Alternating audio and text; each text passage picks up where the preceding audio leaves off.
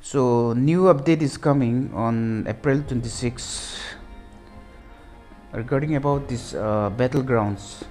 So there is uh, some changes and some costumes some costume also. And there is a free uh, coupon code so that you can claim some diamonds. Okay let's check it out the official video An exciting addition coming in the April 26th update will be a new Capture the Flag battleground. This new battleground mode will be quite different from the Battlefield of Strength that you guys are used to, which is not going away, don't worry.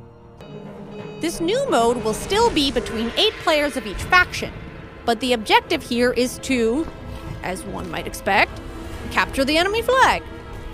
Each team has a flag that they need to defend while trying to steal the enemy's and bring it back to their base. You can't score while the enemy has your flag, so your team will have to figure out a strategy that combines offense and defense to win. The match lasts only 10 minutes, and the winner is whichever team gets two captures first. In the case of a tie when time runs out, the team with more total contribution points will be the winners. Oh, but there's no MVP rewards in this one. So don't go running around trying to be a hero just to get personal rewards. Finally, the most important thing we've gotten fashion updates. That's right, everyone. We all know that style is the real endgame content. We've got new costumes, new weapon skins, and dyes can now be bought with bloodstones from barter merchants, so you can level up your fashion game for the spring summer seasons.